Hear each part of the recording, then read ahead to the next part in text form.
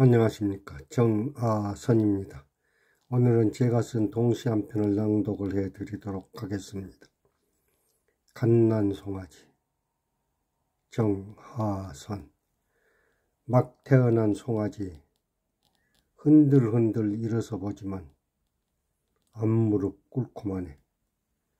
막 태어난 송아지 흔들흔들 일어서 보지만 또다시 무릎 꿇고만 해. 막 태어난 송아지. 또다시 흔들흔들 일어섰네.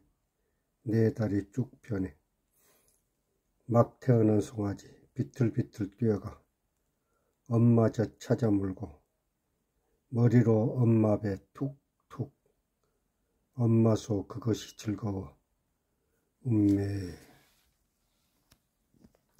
네 이 동시는 제 동시집 도깨비방에로 실려있는 동시입니다.